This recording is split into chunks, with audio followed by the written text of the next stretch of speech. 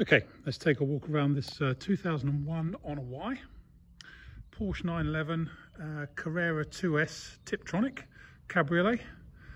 Uh, finished in seal grey with full black leather.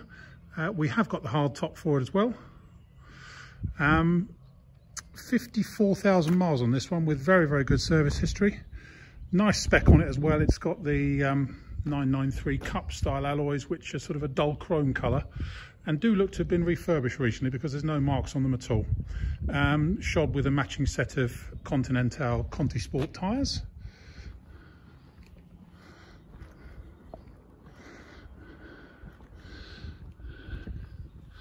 does look nice in the sun. Um, electric hood goes up and down exactly as it should. We've just done photos of it with the hood up and now the hood is down. And they will go up. All the hood goes up, windows go up, everything works as it should from that point of view. Um, it's got the three spoke steering wheel with the Tiptronic buttons on it.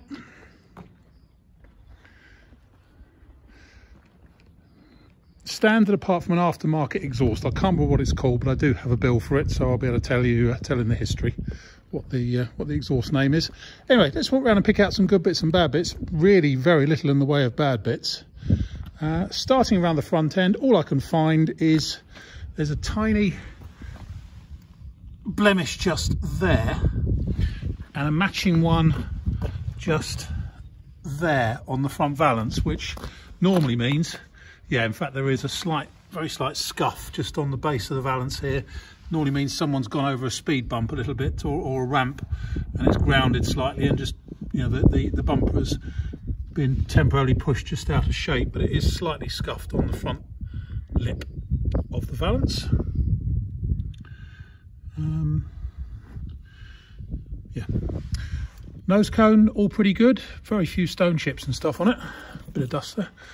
Um, it's, I mean, obviously the colour does help. The seal grey does disguise, um, not disguise, but you can't see chips and stuff quite so readily. But it's it's actually really rather good, the paintwork on it, in my opinion. Looking down the near side, no dinks or anything in the doors. As we say, the wheels look to have been recently refurbished because they're in generally pretty good shape.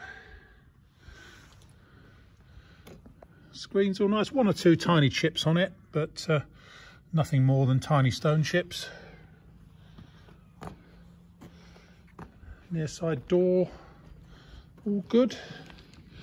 Interior wise, um, say full black leather, bit of scuffing on the driver's seat bolster. Sorry about the shadows, the sun's um, slightly high. But dash is all nice. It's still got its original stereo in it with the CD stacker in the um, in the luggage compartment uh, electric seats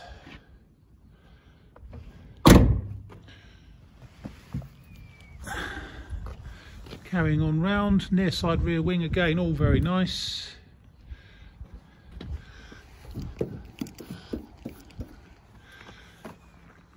Near side rear corner all good and scuff free. Lug, uh, engine cover all good. And again, looking down the offside, it looks very, very straight indeed down there, looking obliquely.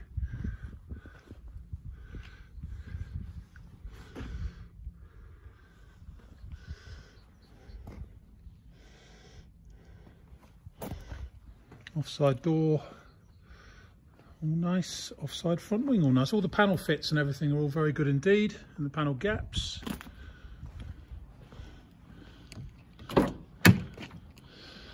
and then inside here this one's also got leather dash and um, door cards as well I think according to the uh, the build sheet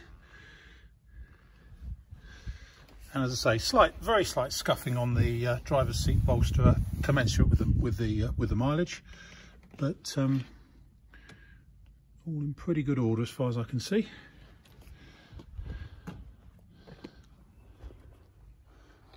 It's proper build plate there and the proper one under the bonnet as well. Nice, genuine 911. This one, in my opinion, is obviously a 996 variant, but uh, I like it. And uh, got to go through the history this afternoon, which is the size of a telephone book, as it often is. But um, yeah, nice car. My name's Simon. You can reach me in the office on 0118 907 1495 or you can go to our website which is www.moto-drome.com. End.